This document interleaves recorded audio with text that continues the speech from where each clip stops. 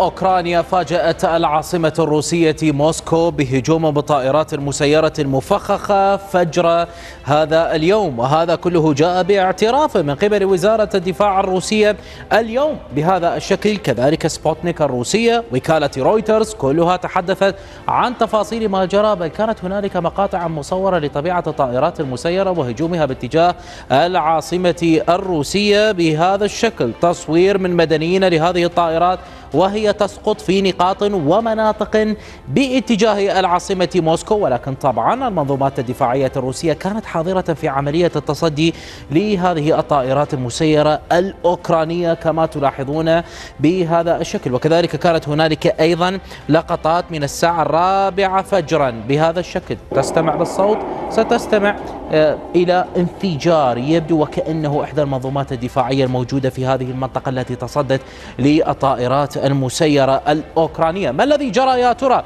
هذا الهجوم بداية بأنه كان أساسا قد جاء على العاصمة موسكو. هنا موسكو هنا العاصمة موسكو كما تلاحظون ولكن مقاطعة موسكو هذه كلها مقاطعة موسكو هي كانت الهدف بالإضافة إلى أن هذه المنطقة التي تعتبر موسكو الجديدة هي أيضا كانت هدفا لهذه الطائرات. الطائرات التي نتحدث عنها هنا عبارة عن خمس طائرات مسيرة أوكرانية هي التي انطلقت باتجاه العاصمة آه، طبعا الروسية موسكو بهذا الشكل. وكانت المنظومات الدفاعية الروسية حاضرة في عملية التصدي لهذه الطائرات المسيرة بحسب طبعا ما تحدثت عنه سبوتنيك الروسية أو حتى وزارة الدفاع الروسية. قالوا المنظومات الدفاعية الروسية تمكنت من إسقاط أربع طائرات مسيرة من هذه الطائرات الخمسة. أما الطائرة الأوكرانية الأخيرة فإنها اقتربت كثيرا من العاصمة موسكو وتم إسقاطها طبعا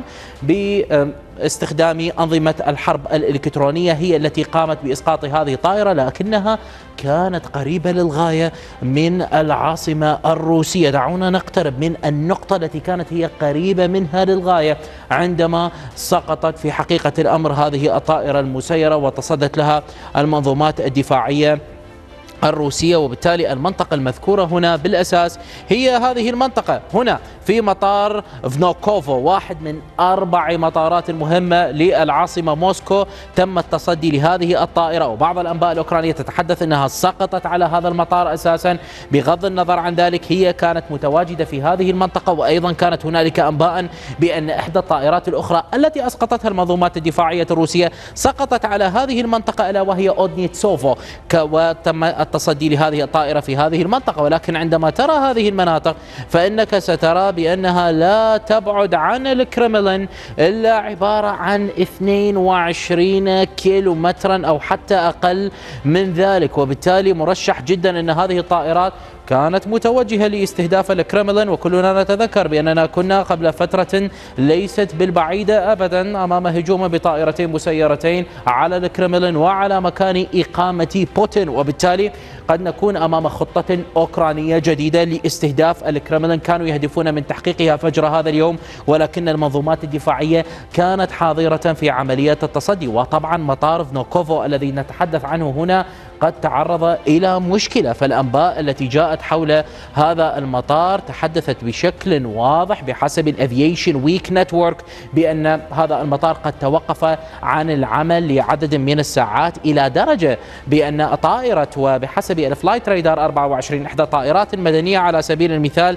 من طائرات البوينغ التركية تلاحظ بأن هنا فنوكوفو التي تحدثنا عنها وهذه هي موسكو كانت تحاول الهبوط في هذا المطار ولكن جاء النداء بأن المطار فيه مشكلة أغلق لا تستطيعين أيتها الطائرة وأيها الطائرة طبعا آه، الطائرة التركية بأنكم غير قادرون على عملية الهبوط في هذه المنطقة وبالتالي استمرت بهذا الاتجاه تحاول إيجاد طريق أو نداء للهبوط في مطار آخر. وبالتالي آه، توقفت مسألة هبوطها وهبطت في مطار آخر من المطارات الموجودة في العاصمة موسكو. بالتالي كانت هنالك مشكلة بالنسبة للطائرات بكل تأكيد وهذا ما جعل مباشرة ماريا زخروفا المتحدثة باسم وزارة الخارجية الروسية أن تعتبر بأن هذا هجوما على البنى التحتية الروسية واعتبرته بأنه عمل إرهابي آخر. وهذا طبعا قد يعني تصعيدا قادما من روسيا ولكن الأوكرانيين هنا يوضحون بشكل واضح بأنكم لستم أنتم الوحيدون في عملية مهاجمة وتهاجمون كييف وتهاجمون البنى التحتية الأوكرانية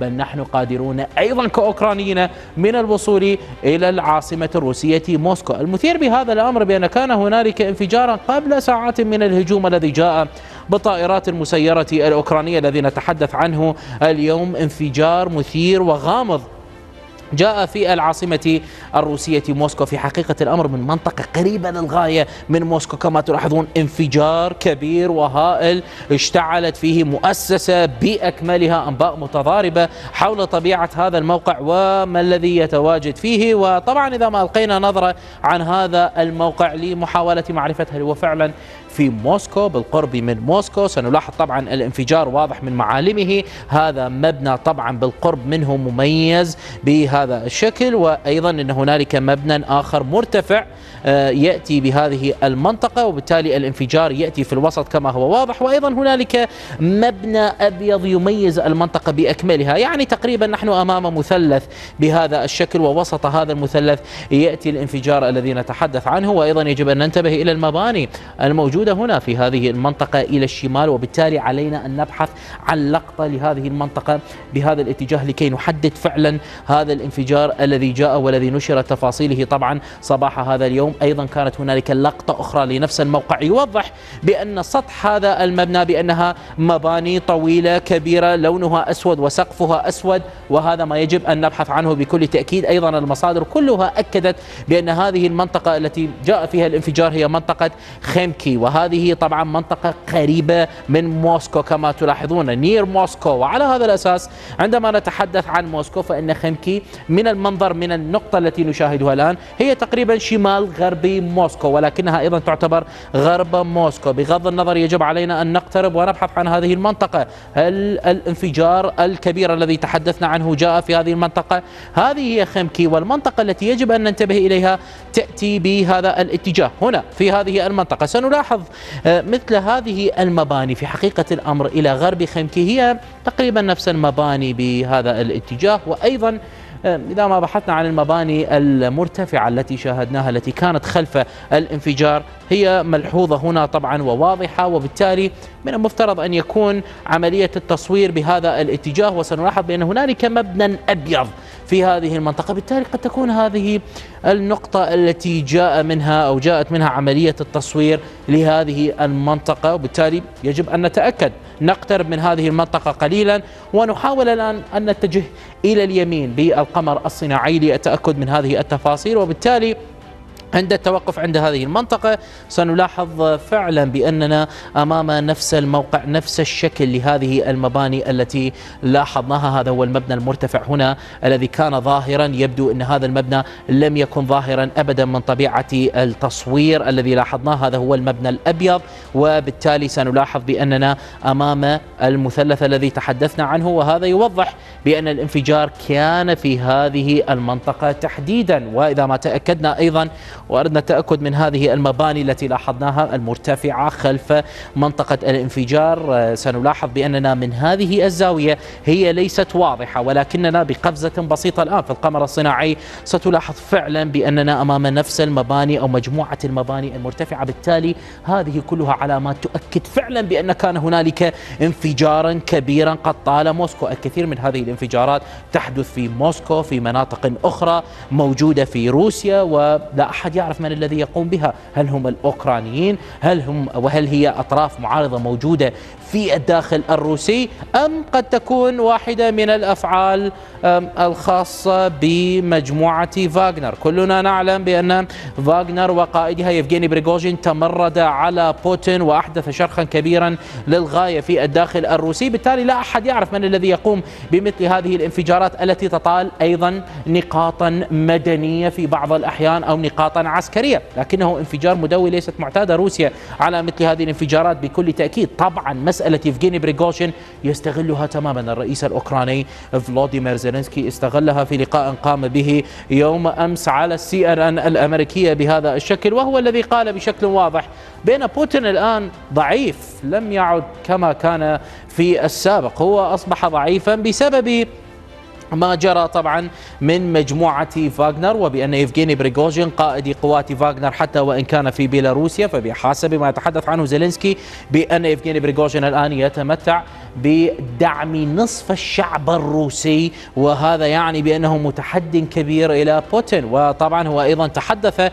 بأن الأوكرانيين وأوكرانيا لا تهدف فقط في استعادة الأراضي التي تقدمت لها القوات الروسية خلال العملية العسكرية الروسية التي بدأت العام الماضي في فبراير. لا أبدا بل أن هذا النصر سيكون منقوصا بحسب ما تحدث عنه آه، زيلينسكي إلى السي أن أن إن لم تتمكن أوكرانيا من السيطرة على شبه جزيرة القرم وعند سؤاله عن مسألة سيناريو إذا انتهت الحرب من دون وصول الأوكرانيين لشبه جزيرة القرم ببساطة قال بأن هذا يعني بأننا لم ننتصر في هذه الحرب. إصرار كبير جدا على الوصول لهذه المنطقة. لا بل أن هنالك عمل كبير للغاية من قبل القوات الأوكرانية باتجاه شبه جزيرة القرم قادمة من خيرسون بهذا الاتجاه. تفاصيل جديدة نشرت عن هذه المسألة من قبل مصادر أوكرانية مثل Noel Report الذي ترونه كذلك المتحدثة باسم قيادة العمليات الجنوبية الأوكرانية في لقاء نشر اليوم. تحدثت عن هذه المسألة بل حتى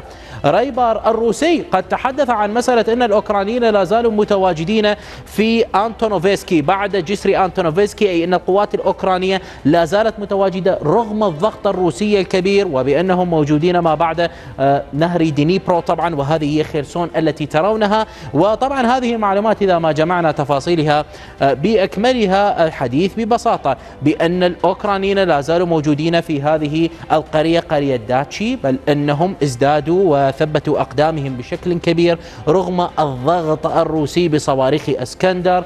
بالراجمات الصاروخية بالعمليات التي قاموا بها. طبعا وبهجوم من اليمين بهذا الاتجاه مستغلين المياه ومستغلين طبعا آه، طبعا الزوارق السريعة التي قاموا بالانطلاق بها لهذه المنطقة. والأوكرانيين متواجدين في هذه المنطقة. لماذا؟ لأنهم استغلوا مسألة عبورهم ومسألة كذلك آه، وجودهم في حقيقة الأمر في هذه المنطقة. جعلهم يتقدمون قليلا من هذه المنطقة وزرعوا الألغام بشكل مستمر. واستغلوا أيضا القدرات النارية الكبيرة التي تمتعوا بها أثناء عبور نهر دينيبرو وعرضوا القوات الروسية إلى مشاكل حقيقية وخسائر حقيقية ولذلك هم ثبتوا أقدامهم في هذه المنطقة. الضربات الروسية طبعا أدت إلى مسألة دمار هذا الجسر بشكل أكبر جسر أنتونوفسكي. ولكن طبعا بحسب هذه المعلومات التي نشرت من الطرفين إن كان الأوكراني والروسي توضح بأن وصولهم إلى هذه القرية سيمكنهم بهذه الطريقة والأسلوب الذي يتبعونه من عملية توسيع سيطرتهم على المنطقة